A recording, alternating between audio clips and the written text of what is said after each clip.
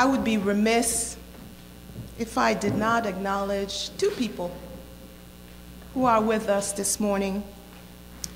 They have traveled far to come here. A year ago, they came. They wanted to surprise me with their visit, but God surprised them because God had me traveling to Haiti. So this morning they came with trepidation and said, hmm, I wonder if God sent her to Japan now.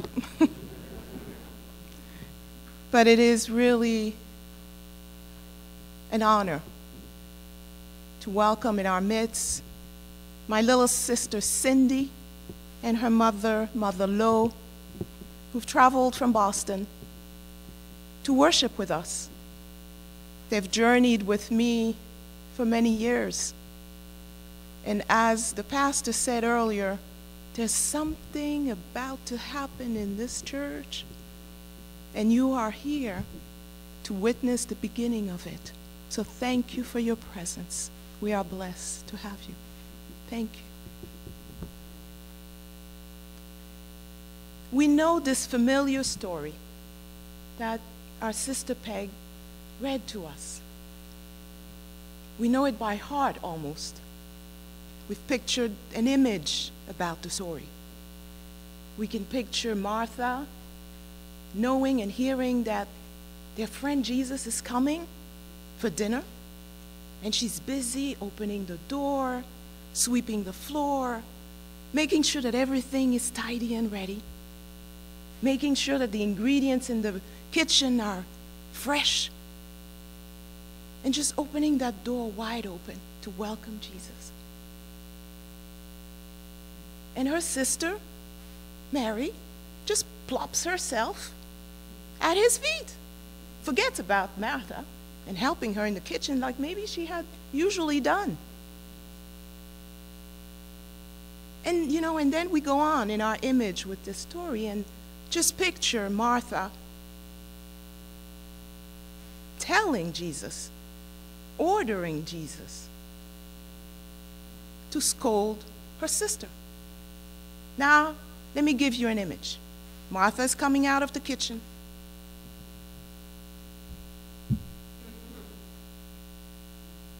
Do you have it? Tell him.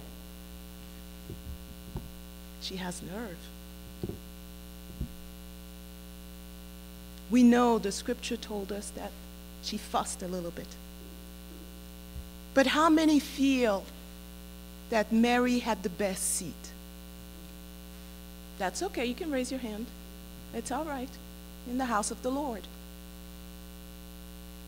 How many also feel that Martha was right in asking Jesus to scold her sister, to put her back in her place? You can raise your hand. That is okay. But what about the apostles? Couldn't they have helped? They were there. They were part of the guests. Culturally, it would not have been appropriate for them to help in the kitchen. But what about breaking traditions? Didn't Jesus show them in several instances about breaking, doing the right thing in the name of the Lord? Remember the woman at the well? Culturally, Jews avoided as much as possible to interact with the Samaritans, who were of mixed race, Jews and non Jews from foreign lands. Jesus broke tradition then. Even more, the Samaritan woman was of questionable reputation, but yet he talked to her. This chosen woman by the Lord was open to accepting Jesus and being renewed. She was thirsting for her heart and spirit to be renewed. She said yes. Jesus demonstrated that you can break tradition in his name. So, yes, a couple of the apostles could have helped Martha, could have volunteered. They did not. And that's not the point that Jesus wanted to make in his visit to Martha and Mary's house. Let's look at another aspect of what we're presented in this scripture passage. Martha wanted everything to be just right. The text tells us in verse 40 she was distracted by all the preparations. In other words, Martha was multitasking and attending to multiple fires. And in the midst of all this, she forgets the guest that she has and the greater nourishment that she would be receiving. She forgets her place and orders Jesus to scold her sister. She feels angry and jealous that in her eyes, in Martha's eyes, Mary had the better seat. The evil of jealousy and anger raised its ugly head at that moment. In the letter to the Ephesians, the Apostle Paul warns us about this evil. In Ephesians 4, line verse 26 especially, it says, In your anger, do not sin. Do not let the sun go down while you are still angry, and do not give the devil a foothold. Isn't that the truth? Church, isn't that the truth? Not letting anger or jealousy get a foothold in our hearts and take the space of kindness, compassion, love. How many times have we found ourselves in similar situations? Not easy to walk away from a situation, not easy to catch our tongue. Hmm, hmm, when we have such a sharp response to give the evil of jealousy and anger taking a foothold of our heart. See, Martha forgot in that jealous and anger moment that her sister was as busy as she was. Mary was multitasking as well as she was sitting at Jesus' feet, intentionally listening to his words. Intentional listening is difficult, church. We have to quiet our internal conversations, block outside distractions, focus on the words we hear, retain all that is being said for however long the person speaks, understand what we hear, and not respond to any questions asked at that moment. Just take it all in. And if it asked, later on to summarize what you've heard to be able to tell it back intentional listening. How many of us can do it completely, fully, 100%? Mary was intentional in her listening, content to be sitting at Jesus' feet, attentive and soaking it all in for her, for her sister, and for us.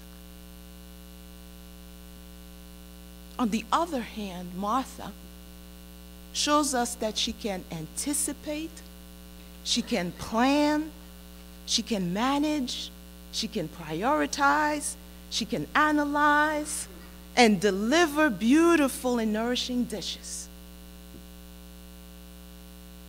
When you think of what's going on in your life right now,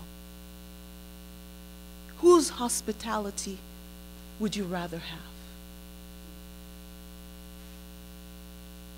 In calming Martha, Jesus reminded her and us that there is a time and a place for everything, and all is valued. Jesus reminds us how to engage with the world, not to focus on the imperfections, but to value what is known, to value the rock that we stand on and whose air we breathe.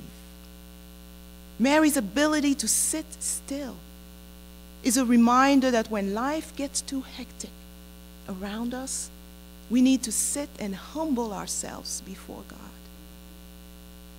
Mary's hospitality reminds us that when we are lost and we are seeking answers, we sit and search for God's guidance. Jesus did it. He modeled it for us many times. He retreated at times, went for prayer,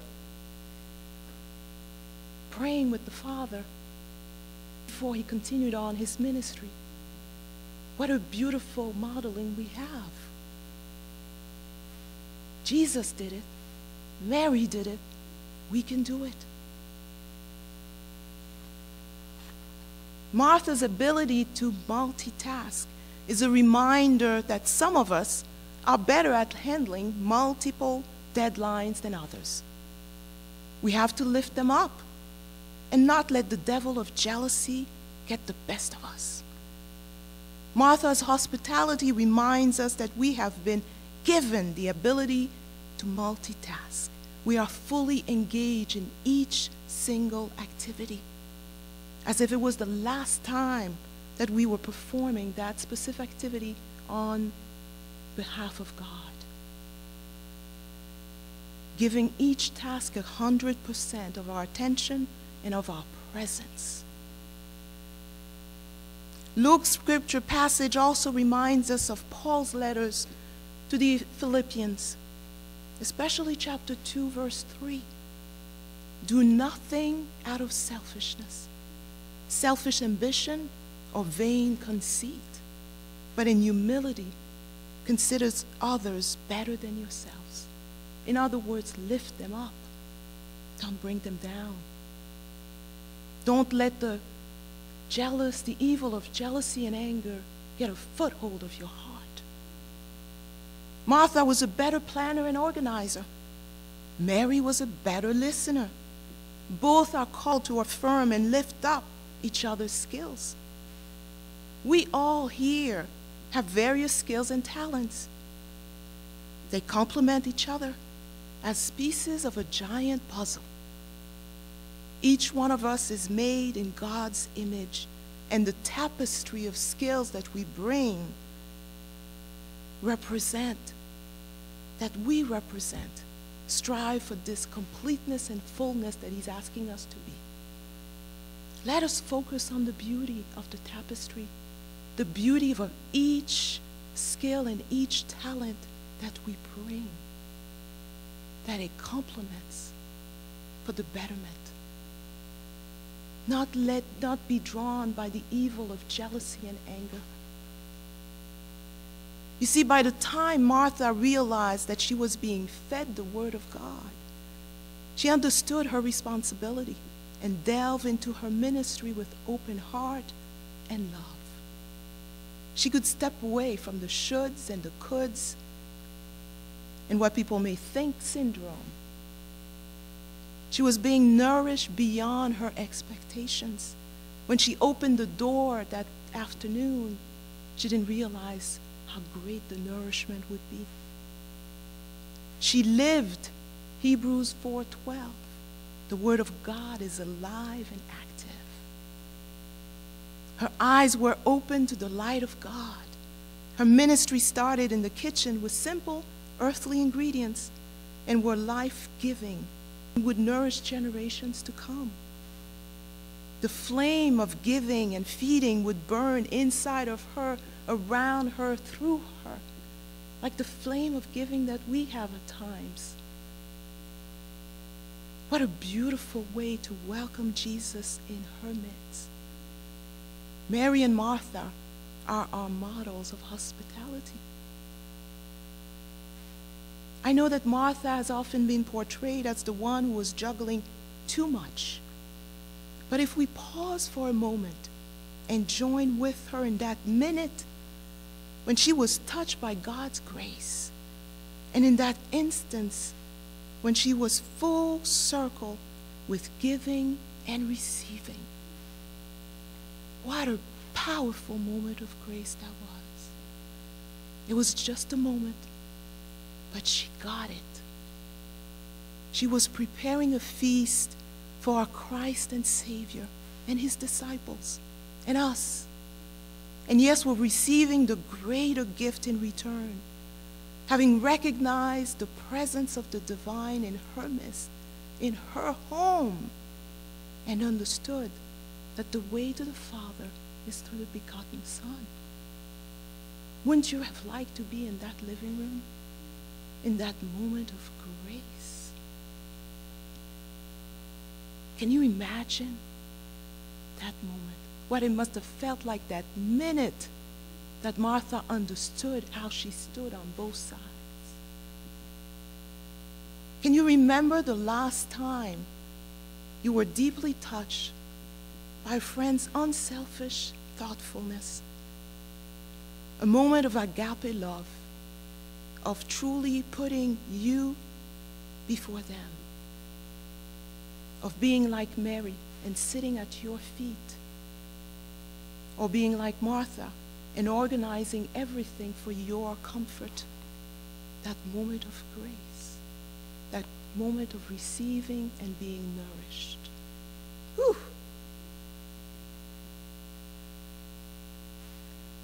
That grace and quietness is what we hear as verse 42 ends. Mary has chosen what is better, and it will not be taken away from her, Jesus says in response to her fussing. Whatever our call of hospitality is, we do it well, and we cannot be taken away from us. Whether we choose to be a Mary like or a Martha like, we do it to its fullest and with compassionate hearts not letting jealousy or anger to give foothold.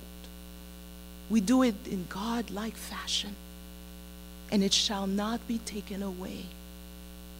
We value our style, our individual style of hospitality. We value how Miss Lane is so attentive to the folks who ride the elevator. We value how our brother Cliff tends to the garden on Warren Street and welcomes us with the open tulips and crocuses. We value that our, on any given weekday, if we call the church office, we have the voice of Deacon Ken assuring us that we have called the right place. We value that our little Jaden, who is sick today, but when he comes and greets us and visits us, he knows each one of us by name. Our little seven and a half year old Jaden. We value that our sister Diana List put her heart in preparing a delicious spaghetti dinner for the fundraising event last night. We fed more people than we imagined. I thought at one point it was we were living the miracle of the fish and loaves. people kept coming back and forth and back and forth. But they were nourished. They were welcomed. And we need to give glory to God because we recognized our hospitality, whether we are Mary like or Martha like.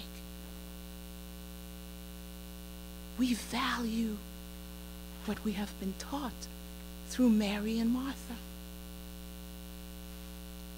You see, that's where the text stops. It does not elaborate and tells us further how Mary, how Martha returned to the kitchen and how her heart was transformed because she understood in that minute how she was nourished. she was at peace and was filled with humility. She surrendered and was changed.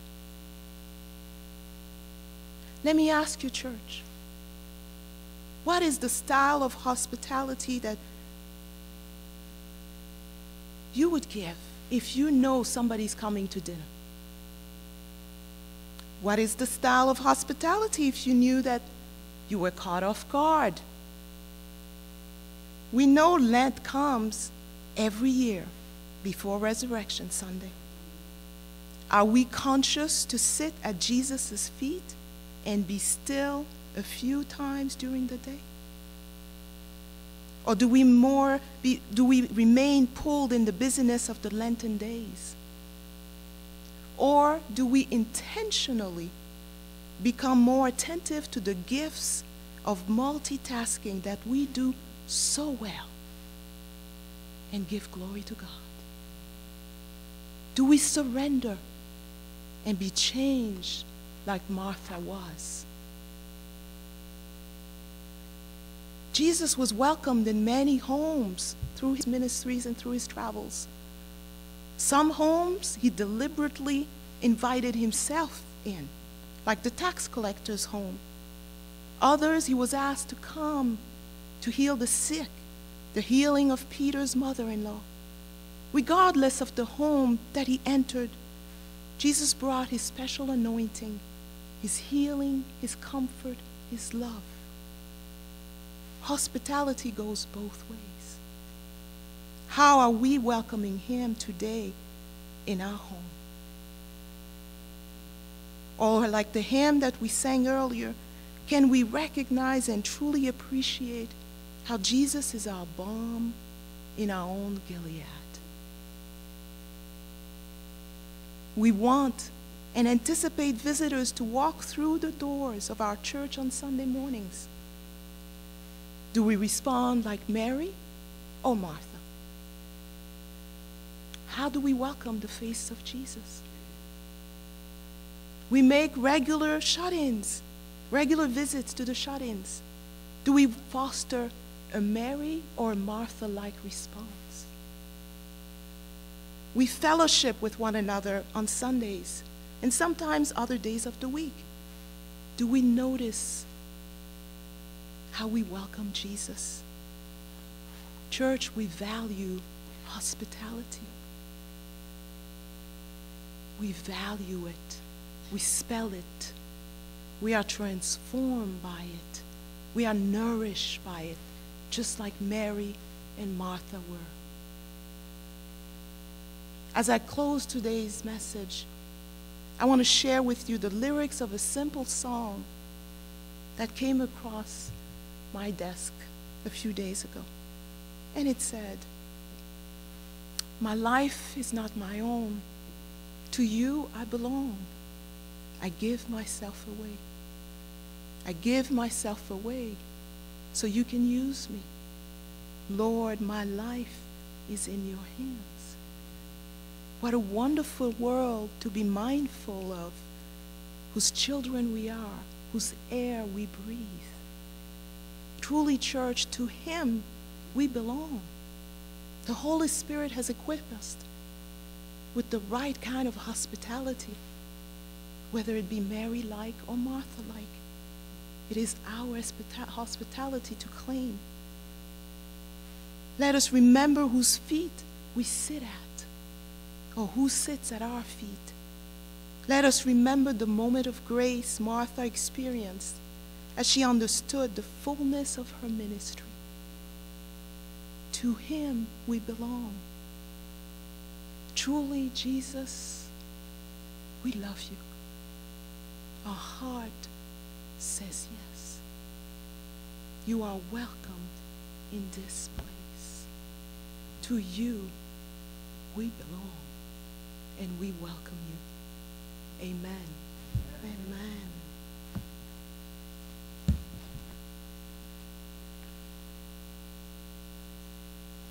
Our hymn of invitation this morning is a reminder for us to always be thankful. Thankful to God. Thankful that we are here. Thankful that He knows by name.